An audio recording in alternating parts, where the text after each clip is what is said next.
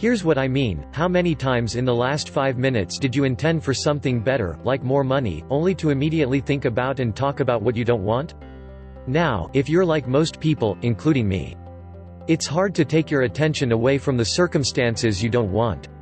That's because your subconscious can't let you focus on what you want. Here's what I mean, your subconscious is programmed to force your attention to see what it wants you to see.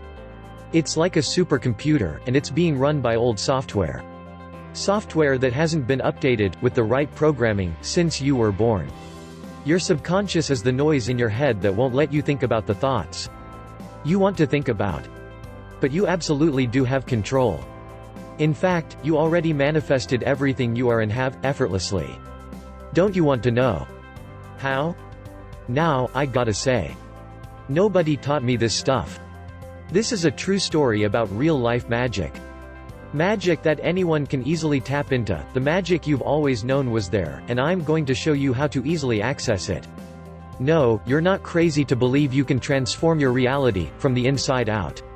And it's absolutely not your fault that you haven't discovered this stuff already. There are too many wannabes, coaches, consultants and marketers out there, trying to convince people they know the secret.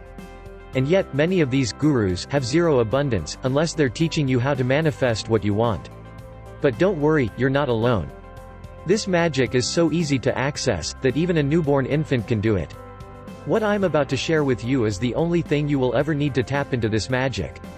Visit my blog, 8m-m8.blogspot.com and if you are looking for, what is being? Come to the link in the description thanks for watching.